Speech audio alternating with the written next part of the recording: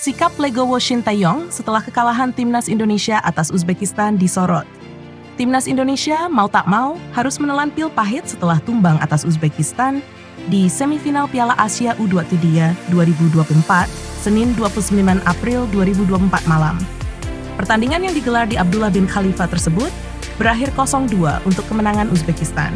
Duel panas timnas Indonesia versus Uzbekistan diwarnai dengan beberapa keputusan wasit asal Cina, Sen Yinhao yang merugikan Garuda Muda. Keputusan kontroversi yang paling disorot adalah dianulirnya gol Ferrari yang tak melihat VAR secara garis lurus. Lalu ada kartu merah Rizky Ridho yang sudah menarik kaki untuk tak menendang pemain Uzbekistan di menit ke-84.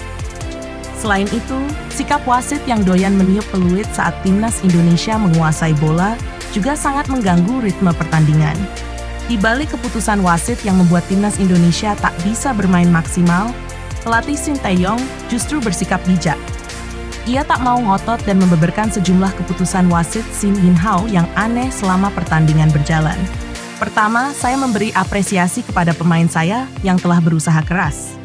Menurut saya Uzbekistan bermain sangat baik. Ada sesuatu yang saya sayangkan, tapi saya tidak mau menyebutkannya, buka Sinteyong pasca pertandingan. Pelatih asal Korea Selatan tersebut nampak legowo melepaskan tiket final untuk Uzbekistan. Kini, Sinteyong memilih fokus meloloskan timnas Indonesia ke Olimpiade Paris. Kami masih bisa lolos ke Olimpiade. Kami akan mempersiapkan diri dengan baik agar bisa ke Olimpiade, tambahnya. Bukan menyoroti kinerja wasit, Sinteyong mengakui sendiri anak asuhnya sedikit gugup sebelum jumpa Uzbekistan. Ia menilai Marcelino dan kawan-kawan tak bisa tampil maksimal karena hal tersebut. Menurut saya, sebelum pertandingan dimulai, para pemain sedikit gugup. Hal tersebut bisa mempengaruhi tim sehingga kami tidak bermain baik.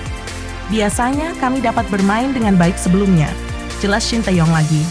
Timnas Indonesia masih berpeluang lolos ke Olimpiade, yaitu dengan cara memenangkan laga terakhir melawan Irak untuk perebutan juara tita Piala Asia U23 2024. Apabila kalah, Indonesia juga masih berpeluang lolos Olimpiade dengan memainkan laga playoff melawan Guinea.